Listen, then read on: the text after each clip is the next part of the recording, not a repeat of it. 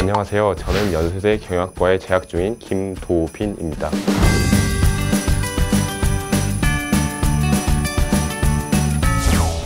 어, 대부분 이제 집중력이 부족한 친구들 말을 들어보면 핸드폰을 가지고 다녀서 집중력이 깨지는 경우가 많더라고요.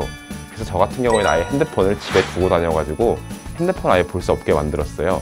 그래서 집에 핸드폰을 두고 다니니까 어, 연락은 어떻게 하지? 혹은 어, 핸드폰이 필요한 순간이 있지 않나라고 궁금해하시는 분도 있는데 독서실을 통해서 연락할 수 있었기 때문에 핸드폰이 없더라도 굳이 불편하지 않았어요. 또한 그렇다고 핸드폰이 없다고 해서 집중력이 완전히 또 좋아지는 건 아니잖아요. 그래서 저 같은 경우에는 40분에서 50분 정도 공부를 하고 10분 정도 휴식 시간을 가졌어요. 이때 예를 들면 뭐 산책을 한다든지 아니면 친구들과 얘기를 한다든지 혹은 세수를 한다든지 등을 통해 집중력을 회복했어요. 이때 중요한 게 너무 오래 앉아있지 않으면 공부를 할 수 없거든요. 그래서 제가 생각한 방법은 우선 공부가 안 되더라도 오랫동안 앉아있는 노력을 하는 게 필요해요.